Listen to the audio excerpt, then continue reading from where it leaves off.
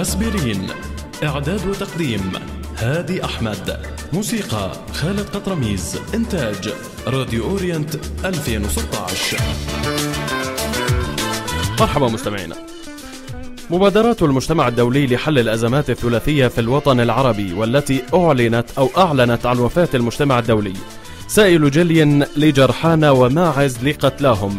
تعرية الأمم المتحدة ومؤتمر جنيف من أي فائدة تذكر. عنوان حلقتنا اليوم جنيف امتحان للمجتمع الدولي.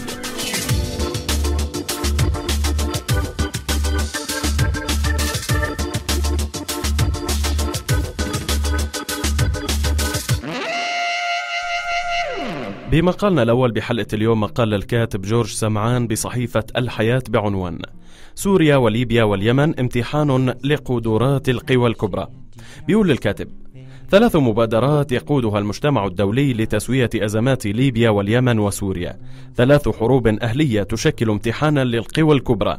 الولايات المتحدة وروسيا وأوروبا والصين التي بدأت الانخراط جديا في قضايا الشرق الأوسط وتؤشر إلى قدرة هذه القوى على وقف الفوضى في المنطقة العربية مثلما تؤشر قبل ذلك إلى استعدادها للتفاهم على إدارة شؤون العالم.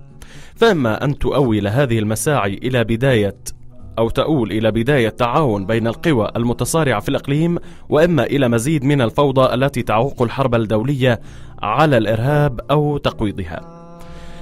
يعني من الأول من الأول من الأول من الأول. ثلاث أزمات ليبيا وسوريا واليمن. تختلف مع بعضها ليبيا آه، أو اليمن أو سوريا. سو ليبيا آه، ما فات ميليشيات.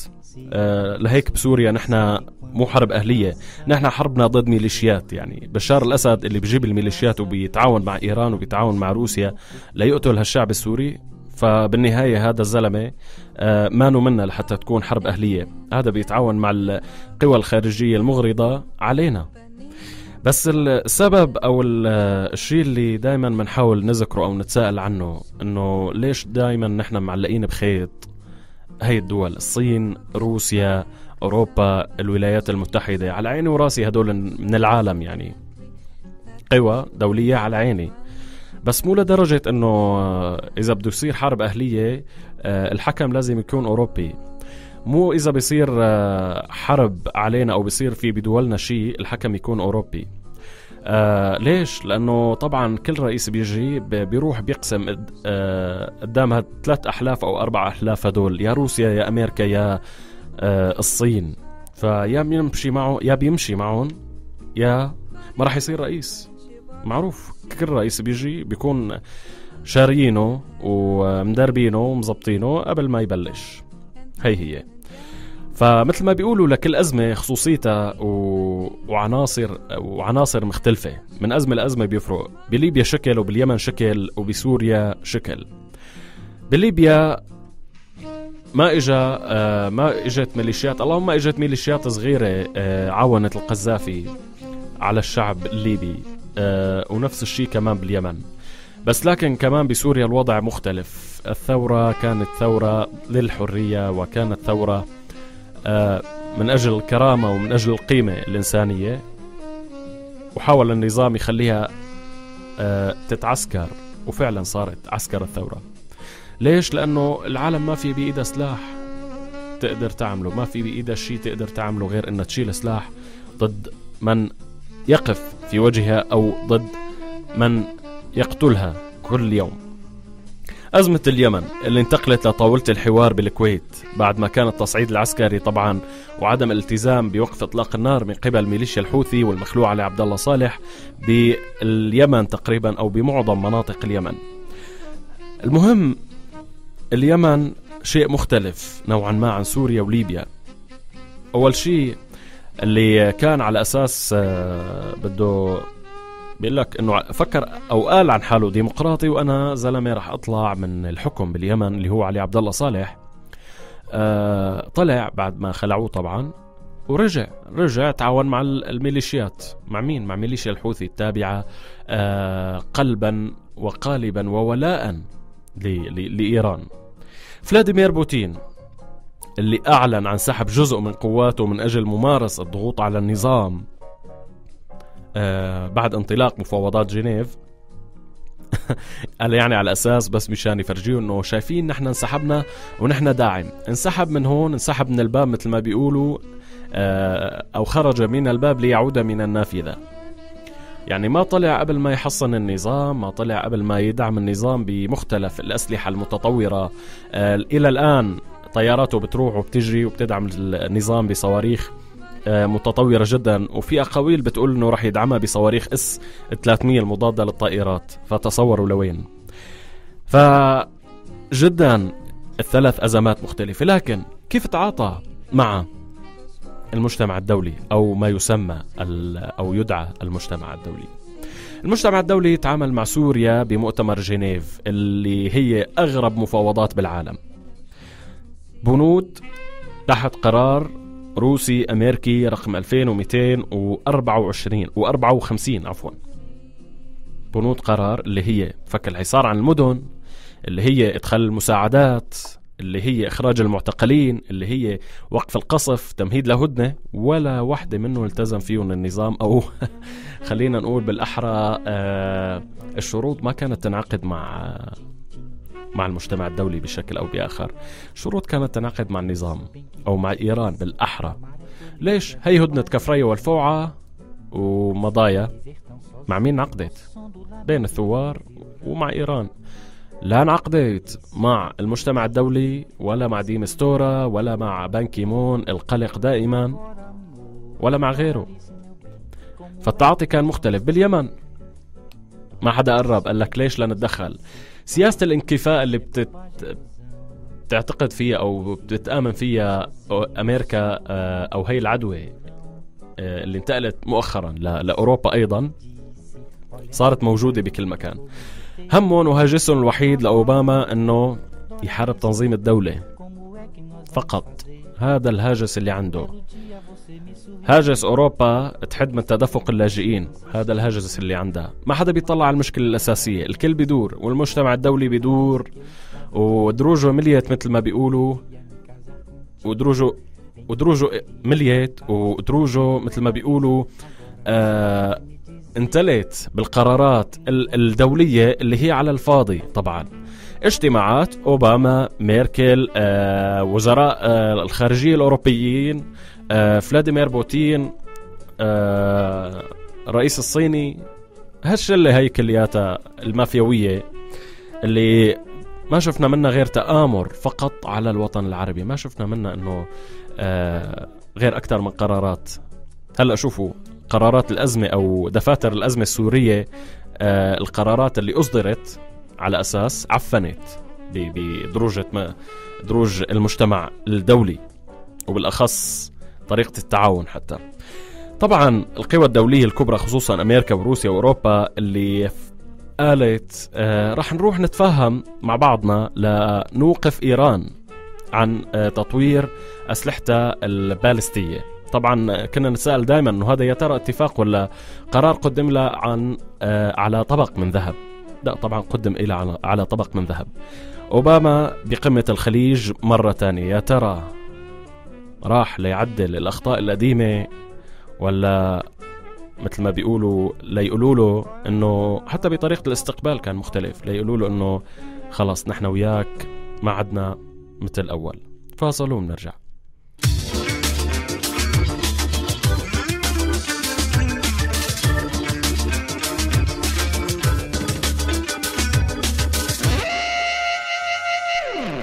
بمقالنا الثاني بحلقة اليوم مقال للكاتب علي حميدي بموقع أورينت نت بعنوان سائل جلي لجرحانا وماعز لقتلهم.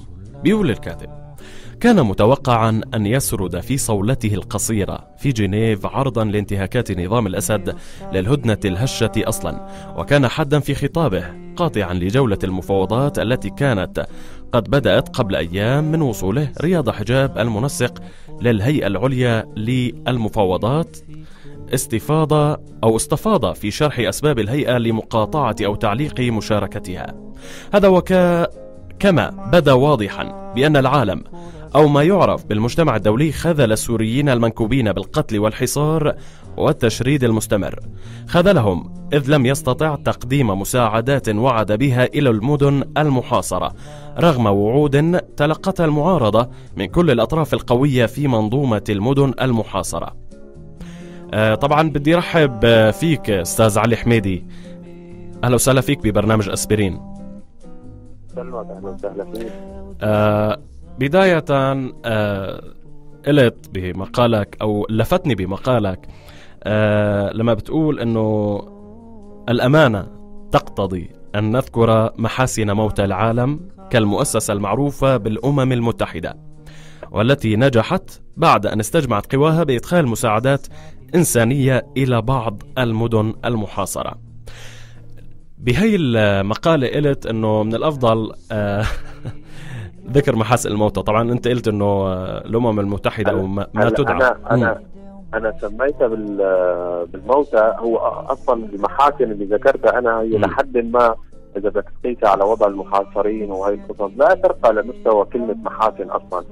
أما توصيف الموتى فهو لمؤسسة فعلا ميتة. يعني فكرة العجز اللي مطروحة الآن ومحيطه فيها إنه هاي المؤسسة عاجزة. من المعيب إني اوصف أنا مؤسسة على مستوى أممي مستوى دولي. المفروض هي تدير شأن العالم بالعجز. إنه عاجزة عن إيصال حبة آه، أسبرين حسب برنامجك أو آه، حبه دواء أو كذا ده محاصر محاصر بشكل يعني مقصود. ما انه محاصر بزلزال ولا انه محاصر بشيء آه، نكبة. محاصر من خمس سنوات على مرأى هي المنظومة. فكلمة عجز كثير كثير بتسيء للعجز نفسه. هي ميتة بقرار. فكرة الموت هو موت بقرار. يعني في حدا بهذا العالم بهي المؤسسة أخذ قرار موتة بشيء يعنيه يعني هو موت بما يعني الموضوع السوري موت بما يعني الحالة السورية موت بما يعني المحاصرين السوريين. لكن بأماكن ثانية ممكن تكون فعالة. لأن هو هذا المسؤول عن هي المنظومة اللي عم بيدير هي المنظومة الأممية الميتة اللي ما عاجزه هي ميتة بالحالة السورية. ممكن يقدم خدمات بمحلات ثانية لأني بده يقدم خدمات. وبناخذ مثال آه، خذ على سبيل المثال بالمسألة بين الفلسطينيين والإسرائيليين. دائما في عندهم شيء يقدموه للجانب الإسرائيلي وفي عندهم شيء بتكون منظمة. أما بالحالة السورية فهو الموت موت معلن موت مقرر. خلينا نسميه موت مقرر من قبل هي المنظومة. تجاه الحالة السورية عموما. طيب آه بدي أسألك آه هل بتعت... شو شو شو الفائدة هلا من آه مقتضى آه مقررات جنيف؟ كنت بدي أسألك هون لما قلت بمقالك آه إنه يجب أن نذكر آه محاسن موت العالم كالمؤسسة المعروفة واللي شرحت لنا عنها قبل شوي. برأيك برأيك آه الأمم المتحدة ليش عم تحاول آه جهدها خلينا نقول اللي بتدعي جهدها يعني ليش عم تحاول؟ ما دام هي ما دام هذا الموت كان بقرار. ألو؟ ألو عم تسمعني أستاذ؟ ما سمعت. آخر آخر جملة بس أعيد لك السؤال. أعيد لك السؤال. طيب. هي ماتت بقرار بالمسألة السورية. يا ترى ليش نعم. ماتت بقرار بالمسألة السورية؟ ليش على النظام هيك؟ رغم انها قررت بكثير مصار بي خلينا نقول كمجتمع دولي أو كأمم متحدة. لأن اللي اللي اثبت اللي أثبت خلال الخمس سنوات من عمر الثورة السورية وخمس سنوات من عمر هي المأساة اللي على الصعيد الإنساني على الأقل أثبت إنه الأمم المتحدة فعلا أو هي المنظومة اللي بتدير العالم أخذت الحالة السورية وأنا هيك ذكرت بمقالي هي مادة لأي بازار مادة لتفاصيل العمل الدولي مادة أنا اليوم محتاج مادة لا استخدم فيها لاجئين. فبروح للموضوع السوري وبستخدم الجانب الإنساني واللاجئين وكذا وبستفيد منه قدر الإمكان. فقطعا ما بيكون مهم بالنسبة لي إنه تنتهي. بينتهي بالنسبة لي الشيء اللي كنت أنا عم بستفيد منه وعم بستخدمه. هذا على صعيد. على صعيد الاصعيد الثاني إنه أنا اليوم كأي قطب دولي من هاي الأقطاب اللي موجودة واللي مشكله الأمم المتحدة في عندي مصالح مع الآخرين في عندي ابتزاز للآخرين في عندي أوراق ضغط بدي أستخدمها ضد الآخرين وفي عندي حالة سورية موجودة فما بيعنيني اني انهيها واخسر أنا أحد أوراق اللعب أوراق الضغط اللي كنت عم بستخدمها. فهي المشكلة بمنظومة الأمم المتحدة عدم وجود أصلا آه، معايير بتحدد إنه لا نحن لا.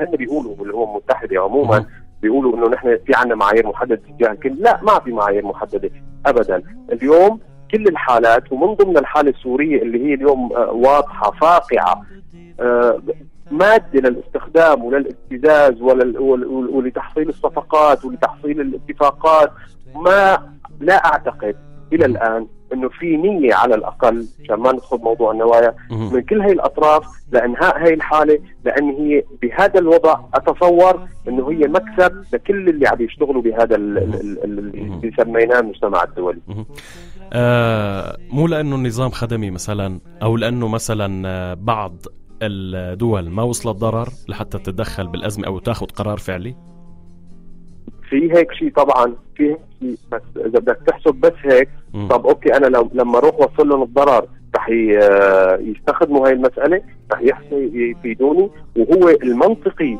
برأيك المنطقي إنه أنا أنتظر من هاي الدول الكبرى اللي هي الأقطاب انتظر منهم إنه لما يوصلوا للضرر يقوموا يتحركوا ما هو المنطقي بيقول إنه هن يتحركوا في كل الأحوال.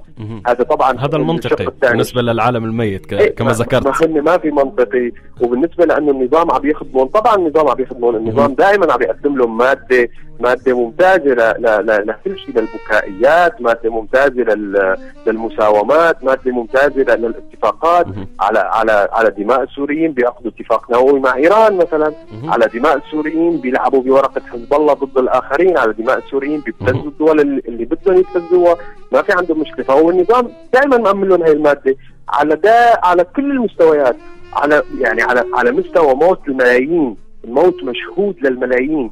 قتل مشهود. للملايين من قبل نظام موجود أمام مرأى هي الناس كلياتها. ما مخبى ما ضايع. وللأسف اليوم بيحسب هذا النظام بعد كل هذا اللي انعمل وبيقدموه على أساس إنه هو ممكن يكون طرف لإيجاد حلول برعاية أممية وبيطلع وكمان بيبتزهم ب- ب- ب- بمحافلهم الدولية اللي. هم عم ينشئوها بيرجع بيبتزهم هذا هذا النظام وبيمعن أنا هيك سميتها بيمعن باذلال كل شيء بيقدموه يعني تخيل إنه هن بفكرة سائل الجلي اللي طرحها المنسق العام. واللي أنا ذكرتها بالمقال بالضبط عنوان المقال كانت. إيه آه، يعني يعني إذا بدك تسميها مصيبة بدك تسميها مأساة آه. إنه نحن اليوم في عنا عنصر شبيح أو عنصر من قوات النظام أو أو على هذا المستوى قادر يمنع المساعدة الأممية إنه تدخل للمحاصرة اللي هو أصلا عامل هذا الحاجز ليحاصره. وفعلا عنصر واحد على حاجز ممكن يمنع. يعني يعني يعني مأساة. يعني كلمة مأساة بالنسبة لل- للأمم المتحدة أو هذا المجتمع الدولي هي فعلا مأساة. إنه ح- عنصر واحد بحاجز بيحسن بيمنع مساعدة أممية تدخل لناس هو أصلا موجود بهذا الحاجز لحتى يحاصر هاي الناس لحتى يضغط على جراحاتهم لحتى يعذب أطفالهم لحتى يموتوا بهذا الشكل اللي عم يطلع على مرأى العالم الم... قضى جوعا ما بتصور إنه بالقرن ال 21 في جملة أصعب من قضى جوعا في سوريا بالضبط. كنا كنا نقولها كمثل إنه ما حدا بيموت من الجوع لا عن جد في حدا بيموت من الجوع يعني خير مثال كانت سوريا. بتقول إنه هذا العالم يشبه الأسد حد التطابق في تعامله مع الملف السوري. يعني لما كانوا يقولوا الثوار والناس ثورتنا على العالم ما كذبوا أو ما كانوا بيبالغوا لاني لأني شوف ال- ال- الإستهانة بجراحات ال- الآخرين إن كانت بوجه حق أو عدم بي- بيتطابقوا فيها فعلا نظام الأسد، يعني نظام الأسد أنا سميت الناس اللي اللي بزمرته. كلهم. إن كان بيعرف يعلم أو لا يعلم مغيب هو طوعا راح صار ضمن هي المنظومة ضمن هذا ال- ال- السلك اللي عم بيقتل فيه الناس وبيحاصرهم. بغض النظر عن اسبابه بغض النظر عن أي شيء هو أصلا يعامل من قبل نظام الأسد بنفس الطريقة اللي بيعامل فيها المجتمع الدولي بيعاملنا يعني نحن نحن ال- ال- الجرح تبعنا حتى لو تحملناه كناس عندها ثورة وعندها كذا هو ما عنده المبرر. يعني فكرة إنه أنا آه، أتحمل كل التضحيات اللي قدموا له إياها للنظام مقابل آه، ماعز أو مقابل آه، يطالعوا ياخذوا صورة مع السيدة الأولى أو باكيتين يعني شيء غريب. أو باكيتين متى أو باكيتين متى يعني يعني أنت آه. في عيال ضحت بشبابها وضحت. بكذا مقابل ماعز أو مقابل صورة أو مقابل باكيتين متى أو كذا ال- الكارثي باستمرارهم بهذا بهذا العمل هذا شيء كارثي فعلا استمرارهم بقبول هذا النوع يعني. نحن ما عم نقبل هذا النوع نحن اللي اللي, اللي بإمكانه يحكي عم يحكي واللي بإمكانه يعبر عم يعبر وبامكانه يقاتل عم يقاتل لكن هم ما عم يعملوا هذا الشيء. ابدا. ما في الفكرة ما في الفكرة عند يمكن بشار الأسد أو ما في المبدأ اللي هن ماشيين عليه. نحن لشو ماشيين؟ مشان مين؟ ما حدا بيسأل حاله هالسؤال منهم يعني هذا عن و- مشاهدات. و- و- مم. وللأسف ان لما حتى لو كانوا ماشي- ماشيين آه، لا لا أفترض أنا جدلا إنه ماشيين آه، مع شخص مقدس رح يقدم لهم إكسير الحياة في وقت ما. لكن هو أثبت لهم للمرة الألف وأكثر من ألف إنه لا أنا ماني هيك. أنا ممكن أقدم معي لعائلة فقدت خمس أشخاص من عندها وممكن خلي آه، من فترة طلعت آه، على ال social media وانتشرت كثير إنه احد القضاة اللي بيتعاملوا بمواضيع الجرحى وكذا عم يبتز نسائهم وكذا. يعني تخيل هذا المستوى من الانحدار إنه هو هيك عم بيعمل وهيك عم بيقدم لجرحاهم ولقتلاهم ولكذا. وهذا اللي بيقدم لهم إياه. وهن بيعرفوا هن بيعرفوا. يعني هو أصلا ما عنده ما عمل مقدمات لحتى يفكروا يوما ما إنه لو لو صار شيء منيح لو صار بالنسبة لهم حتعكس ايجابا عليهم. ما ما في ولا مقدمة ولا شيء ابدا من أفعاله أو أقواله حتى بتقول هذا الموضوع بتقدم لهذا الموضوع. طب الإنسان إذا ما بيشوف شيء قدامه آه، يسعى له أو بيسعى بدون ما يعرف شو هو الطريق. برأيك ليش عم يمشوا؟ ليش ليش عم يعملوا كل هذا هدول العناصر هدول؟ برأيك. هلا أنا أنا إذا بدك تروح بهذا المنحى قول قول إنه في طائفية مقيتة وفي كذا. طبعا في وفي كثير. وفي فرد على أساس طائفي وفي انحياز على أساس طائفي. في في تغييب عقائدي بهذا المستوى. طبعا في في تخويف من, من, من الآخر اللي هو آه، الثورة والسوريين الأصليين الحقيقيين. في تخويف منهم طبعا في كلها هي مانا مبررات. وطبعا في ارتزاق وطبعا في استفاده لأن هن أصلا لما عم يعملوا هاي الحواجز على على بلادهم نفسها وأهلهم نفسها هن عم يبتزوهم وهن عم ياخذوا منهم وهن اللي عم يدفعوهم آه، ما بس دم ما بس دم وأهل وفلوس وحياتهم كلها عم يدفعوها. هن عم يبتزوا بعضهم وهن عايشين بهذا الجو. يبدو يبدو إنه كمان هن من مصلحتهم إنه تستمر هاي هاي النوع من الأعمال لحتى يستفيدوا قدر الإمكان استفادات سطحية على مستوى خدمي وعلى مستوى معيشي عادي. أما أفق ثاني أنا أعتقد وأزعم انه هن يعلمون إنه ما لهم لا هن أفق بهذا يستمر ولا حتى بشار الأسد ولا حتى هي هذا النظام اللي قائم. ما بتصور إنه هن بلحظة ما بيعتقدوا إنه هن رح يستمروا بهذا الموضوع أو رح يستمروا ما بدي أقول للأبد لسنوات قادمة. يمكن عن جد هن مثل ما قلت مغيبين أو إنه ما بيعرفوا شو أو يمكن ما بيعرفوا شو البديل اللي رح يجي بعد هذا الشيء. ما في بديل هيك هيك بيكون هيك بيكون غفرت لهم لحد ما لأن في منهم بيعرف إيش عم يعمل وبيعرف تماما إيش عم يعمل وبيعرف تماما ليش هيك عم يعمل وفي جزء منهم فعلا مغيب وعنده بعد عقائدي وعنده وعنده وعنده. بس في الجزء الأكبر اللي عم يحركهم هو بيعرف ليش هيك يعني الموضوع ما ما وليد يوم أو يومين أو أو مثل ما بيسموها أزمة عابرة. نحن في خمس سنين من الموت. صحيح. يعني اللي اللي بده يعرف كان كان عرف من زمان. كان عرف. والموت على بعد حي على بعد أمتار صح. على بعد برميل. فما الموضوع ما غائب يعني الموت هذا موجود. جواره موجود آه، بالمنطقة على بعد أمتار منه. بدي أتشكرك ما عاد عنا وقت كثير بدي أتشكرك آه، الكاتب آه، علي حميدي بموقع Orient Net. طبعا للوقت والله يعطيكم العافية. يعافي قلبك. بالعكس شكرا كثير لك كان شرف لنا إنه استقبلناك ببرنامجنا باسبيرين شكرا كثير شكرا يعطيكم العافية. مستمعينا كان عنوان حلقة اليوم جنيف امتحان للمجتمع الدولي. للاستماع لحلقتنا فيكم تتابعونا على صفحة راديو أورينت على الفيسبوك. كنا معكم بالهندسة الإذاعية مهند القسوس وبالإعداد والتقديم هادي أحمد. إلى اللقاء.